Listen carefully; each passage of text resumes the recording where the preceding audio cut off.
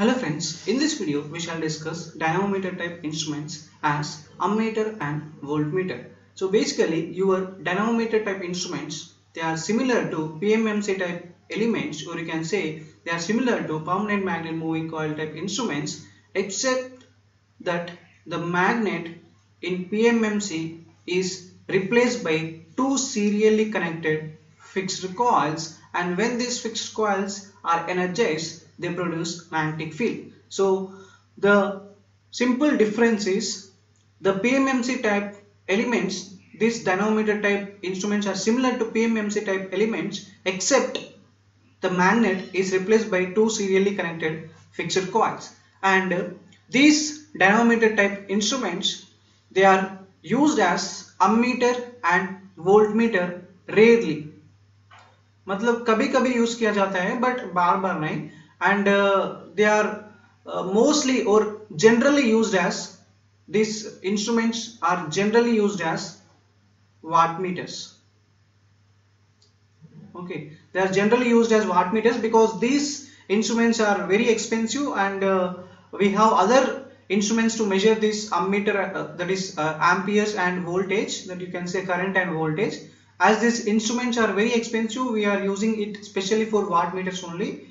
And not for ammeters and voltmeters that is why i say कभी कभी use किया जाता है और रेयरली अमीटर एंड वोल्टमीटर की तरह यूज़ किया जाता है एंड इस वीडियो में हम इसकी ऑपरेशन पढ़ेंगे कि कैसे अमीटर और वोल्टमीटर की तरह यूज़ किया जाता है ओके एंड ये dynamometer type instruments they are suitable for both DC as well as AC work okay and इस इंस्ट्रूमेंट को हम बोला जाता है कि it can be also call as transfer instruments okay transfer instruments that is they can able to read the values of dc and when the same instruments is used to read the value of ac they can, they are also able to read the values of ac that is transfer from dc to ac from ac to dc you can read the values in both areas, that is, in dc as well as in ac and the operating principle of such instruments is that mechanical force exist between the current carrying conductors अगर दो current carrying conductors है तो अगर दोनों में same same direction में current flow हो रहा, तब क्या फोर्स होगा वहाँ? अट्रैक्शन और एक में ऊपर जा रहा और एक में नीचे आ रहा that is in opposite direction you can say then the force acting there it is repulsion.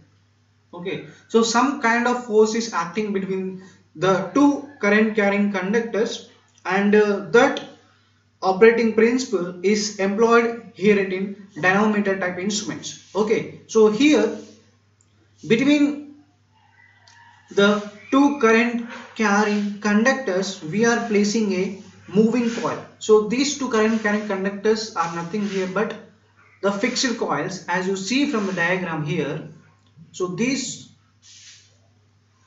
these two are let me take the reading. So here these two are the fixed coils as we see here and uh, there is a movable coil placed in between the two fixed coils. Okay and these two fixed coils are serially connected. Okay so what we can say it the construction it essentially consists of a fixed coil and a moving coil. Okay the fixed coil is split into two equal parts. Okay so the fixed coil is split into two equal parts. Let me represent them as f and f. Okay now these coils are placed close together and parallel to each other. Now they are placed close together so as to provide a uniform field fairly within range of movement of moving coil मतलब uniform field provide करने के लिए इनको close रखा जाता है। किसके लिए यूनिफॉर्म फ़ील्ड चाहिए? मूविंग कॉइल के लिए। ये जो है हमारा, ये मूविंग कॉयल है। Okay now other thing we can say here it is, the coils of dynameter are usually air cooled air cooled coils use किया जाता है यहाँ and we are using air cooled coils in order to avoid hysteresis eddy currents and uh, you can see other errors when the instruments when this type of instrument is used on AC okay so we have seen here the fixed coil is divided into two halves or you can say it is split into two parts F and F okay and the moving coil is pivoted in between the two fixed coils and carries a pointer as you see here so this is your pointer and pivoted ka arth fixed so the moving coil is pivoted in between the two fixed coils and carries a pointer and the current is led into and out of the moving coil by means of two spiral hair springs which also provide the controlling torque. So अगर यहाँ पे इस diagram में देखा जाएगा तो ये दो फिक्स्ड कॉइल्स हैं और इनके बीच में मूविंग कॉयल है और नीचे डैम्पिंग प्रोवाइड करेंगे। हम इसको एयर डैम्पिंग बोलते हैं, उसके बारे में मैं बताऊँगा। एंड यहाँ पे जो ये मूविंग कॉयल में तुम्हारा करंट जाएगा, वहाँ पे एक स्पाइरल हेयर स्प्रिंग होगा। इसके तरह, और इसके नीचे भी एक स्पाइरल हेयर स्प्रिंग होगा। So current is led into and out of this moving coil through the spiral hair spring hair spring हम बोला जाता है कि उसका डायमीटर काफ़ी छोटा होता है and it may be less than one centimetre so hair की डायमीटर के बराबर या कम होता है, इसलिए हम उसको हेयर स्प्रिंग बोला जाता है. And this hair spring provides a controlling torque, which we call as TC. Okay so दो टॉर्क यहाँ प्रोड्यूस होता है. एक टॉर्क है डिफ्लेक्टिंग टॉर्क एंड दूसरा टॉर्क है कंट्रोलिंग टॉर्क जो डिफ्लेक्टिंग टॉर्क प्रोड्यूस होगा that is because of the interaction of the magnetic fields produced from the the fixed coil and the moving coil whereas the controlling torque is provided by your spiral hair springs okay so these are the two torques now why controlling torque is required because if you see the readings here on a graduated scale so when let me say the value here it is 1 2 3 so your the current flowing through the coils is only 2 amperes and your pointer must stop at the 2 amperes. But if there is no controlling torque your pointer will exceed the 2 amperes and it will move to the end of the scale. Okay. So the controlling torque is required to stop the pointer at the exact position of the deflecting value and the other thing is when there is zero current in the coil this pointer should come back to zero. So these are the two functions offered by the controlling torque. Okay and dusra uh, torque होगा damping torque and this damping torque is provided by here air friction damping and air friction damping is provided by means of aluminum vanes vanes. Aluminum vanes that move in the sector shaped chamber at the bottom of instrument. So so, अगर air friction damping देखेंगे हम यहाँ पे spindle होगा और इसके साथ दो वेन्स होंगे। ओके वेन्स मतलब नथिंग बट ब्लेड्स और सेक्टर शेप्ड बॉक्स में देखा जाता है इनको। ओके okay, सेक्टर आपको जा, आप तो जानते हो in a circle so this are the blades और vanes and here your point is attach okay so when the point deflects this aluminium vanes also move in the air and the air provides friction and this friction develops the damping torque and this damping torque will halt the pointer at a stable position and this damping torque exists only when the pointer is in motion so only when the pointer is in motion this damping torque exists so damping torque का काम है कि वो oscillations को डैम्प करता है क्योंकि जहाँ पे अगर टू एम्पियर पे ये सेटल होना है, वहाँ पे जाके ये हिलेगा इसे। सो डैम्प होगा। I mean there will be oscillation so in order to produce damping to this we are offering the air friction damping no if you see the working if you see the working of this dynamometer type instrument it is very simple जो when the dynamometer type instrument are use as ammeter and volt meter the two fix coils which we say FF and the moving coil are so connected that the same current flows through the two coils मतलब fixed coil or moving coil में same current flow ना when the dynamometer type instruments are used as ammeters or voltmeters okay now due to these currents in the fixed coil and the moving coil, a mechanical force exists between the coils. And जब mechanical force exist होता है coils के बीच में moving coil move karta hai and when the moving coil moves the pointer over the scale also moves. And the pointer comes to rest at a position where your deflecting torque TD will be equal to the controlling torque. Okay so ki the dynamometer develops the deflecting torque by the interaction of magnetic fields. By the interaction of the magnetic fields of the fixed coil and the moving coil. So you can say the one field is due to the current in a moving coil and the other field is due to the current in the fixed coil. Okay. Now the field due to the coil is not constant but varies with the magnitude of current flowing through the fixed coil. And you can say your deflecting torque of this instrument is determined by both moving coil as well as and fixed coil. Okay so as the field due to the coil is not constant but varies with the magnitude of current flowing through the both coils the deflecting torque is determined by both coils that is fixed coil and moving coil. And this instrument with its fixed coil and moving coil connected in series is adapted for voltage measurement uh, mainly. And this dynamometer is rarely used as ammeter because of uh, few reasons. So one is the spiral the spiral hairspring to the moving coil can carry limited current so इस diagram में हम देखें कि the current into the moving coil and the current out out of the moving coil is uh, done by the spiral hairsprings but this has a limitation that your spiral hairspring carry limited current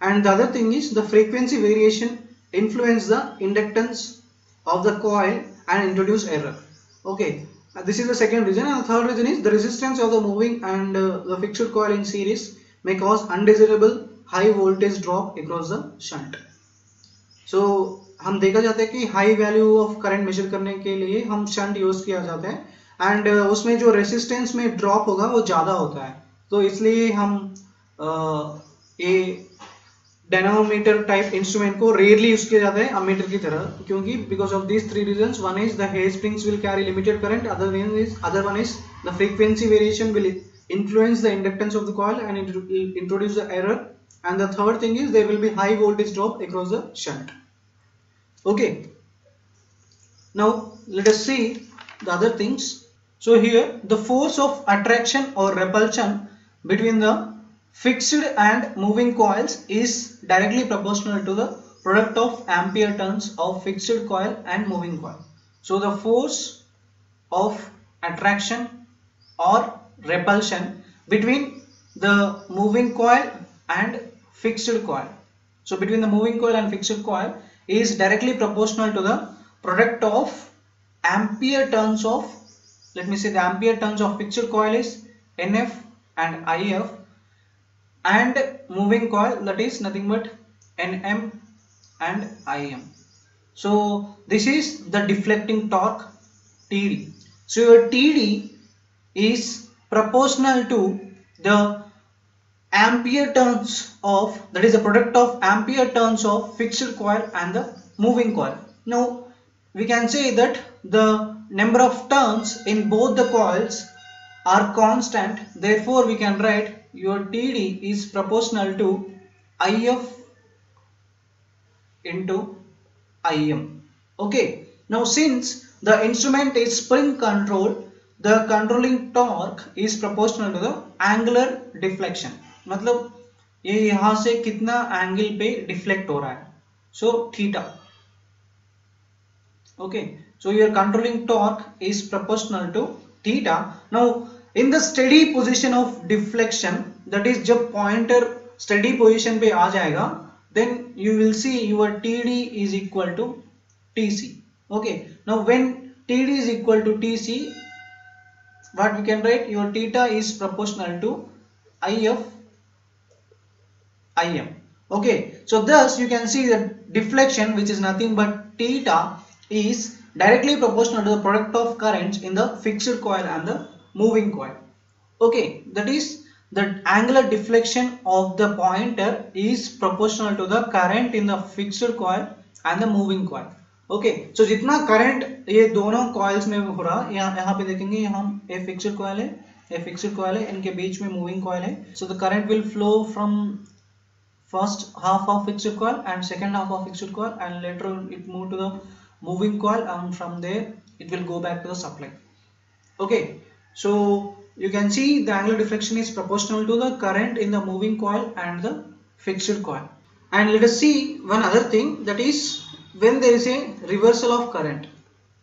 Okay when there is reversal of current what will happen? So when there is reversal of current the polarity of the fields produced by both fixed and moving coil reversed. So when there is reversal of current okay हम देख रहे हैं कि AC में कैसा होता है okay so let me take this is for positive half cycle this is negative half cycle so when I say there is a reversal of current that is we are in the negative half cycle and when there is a reversal of current both the polarity of the magnetic field produced by fixed coil and the moving coil gets reversed okay and you can see here your TD which is proportional to IF or IM and you can also write the TD which is proportional to ampere turns of fixed coil and the moving coils. That is their product. You can write it as phi f and phi m.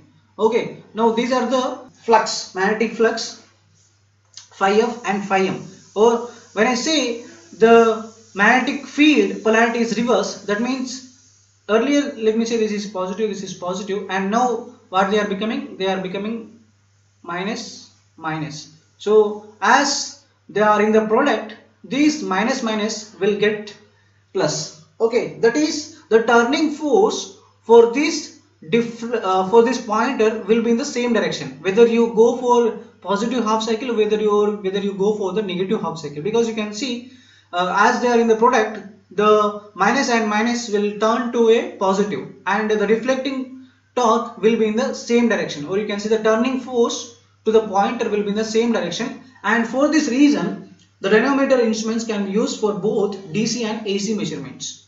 Okay, so this is very important to remember why these instruments are used for both AC and DC because when you go for the negative half cycle and the TD is proportional to the product of the magnetic field of this fixed coil and moving coil and when the current is reversed the field's polarity will also be reversed and both the field polarity will reverse such that the deflecting torque or TD is in the same direction or you can say the turning force to the pointer will be in the same direction rather than the reverse direction on reversing the current. So on reversing the current the turning force is the same direction okay and this can be used for AC and DC. Now let us see the usage of these dynamometer type instruments as ammeter and voltmeter.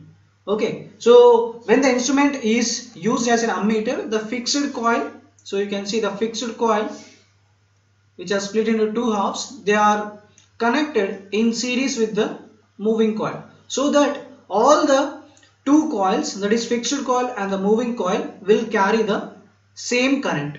Okay, they will carry the same current and this is used as the ammeter for measuring the smaller currents. Okay, so for small current the dynamometer type instruments are used in such a way the fixed coil and the moving coil will carry the same current.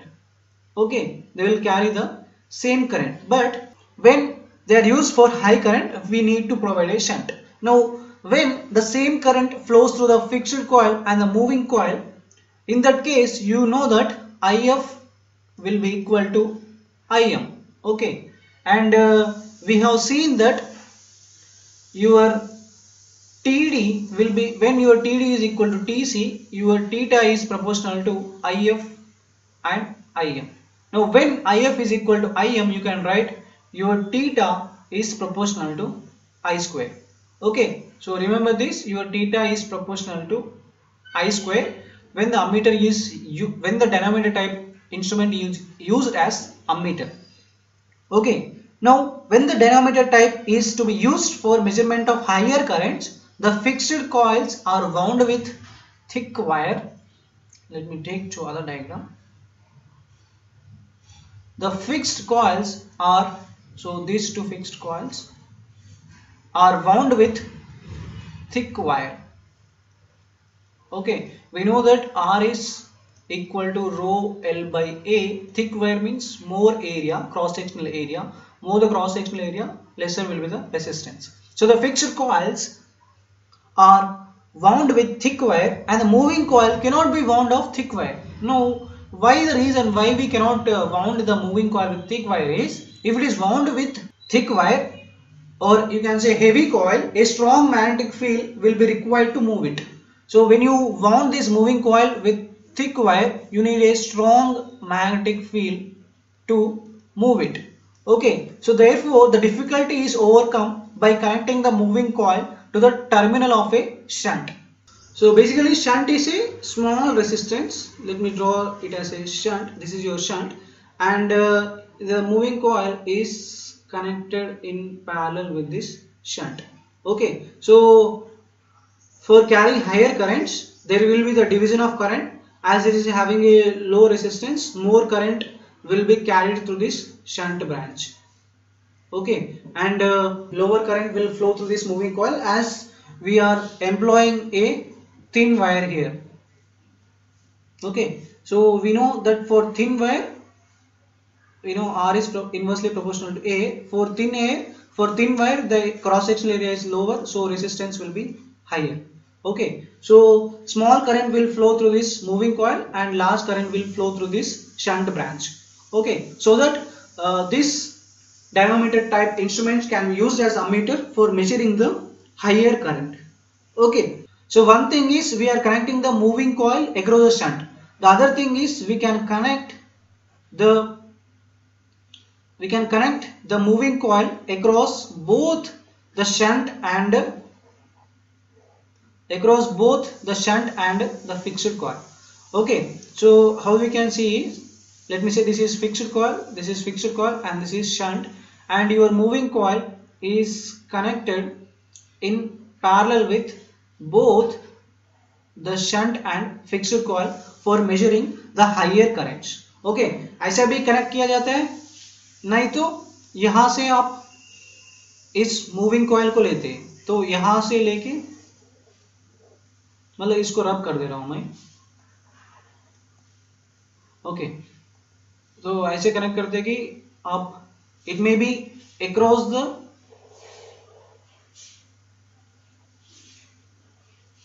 shunt branch और the moving coil for measuring very high current it may be connected across both the shunt and the moving coil no let see when we use the dynamometer type instruments for measuring the voltage now to use the instrument as a voltmeter, the coils are wound with high resistance fine wire. Okay voltage volt meter मतलब voltage measure करता है. And the coils here are bound with high resistance fine wire और you can say thin wire thin wire का resistance काफ़ी ज़्यादा होता है. So no when the instrument is use as volt meter both the fixed coil and the moving coil are connected in series together with a high resistance which is non inductive high resistance called R S which is also called as multiplier and this high non-inductive resistance is having negligible negligible temperature coefficient negligible temperature coefficient now temperature coefficient का आते है कि जैसे temperature change होगा वैसे resistance change होता है okay so there when there is a change in temperature there will be the change in resistance so when we are saying here negligible temperature coefficient that means with change in temperature its resistance should not change. That is the multiplier resistance should not change with change in temperature. Now you have seen in the uh, ammeter when the dynamometer type instrument used as ammeter we have seen that theta is proportional to i square. Okay now since here the current in both the coils is same. Okay that is in fixed coil and the moving coil the current is same and this current is proportional to the voltage being measured okay this i is proportional to voltage being measured in both the coils. That is in fixed coil and the moving coil. So therefore you can write this theta is proportional to v square when used as the voltmeter. Now it may be seen that whether the instrument is used as an ammeter or voltmeter the deflection torque is directly proportional to the square of quantity being measured. That is uh, whether you are measuring the voltage or voltage or current the deflection torque is proportional to the square of the quantity being measured. Now hence the scale of dynamometer type instrument when used as ammeter and voltmeter is not uniform. That is it is not a linear scale because the deflecting torque is proportional to the square of quantity being measured and this scale is non-linear. So non-linear scale hota hai ki it is crowded in the beginning. It is crowded in the beginning okay and it is open at the upper end मतलब इनका जो scale का readings होता है, यहाँ crowded होता है beginning में और एंड में ओपन हो जाता है काफ़ी। तो इनको हम नॉन लीनियर स्केल बोला जाता है। Okay so the scale use here it is non linear scale so this is all about the dynamometer type instruments as ammeter and volt meter I hope you understood well thank you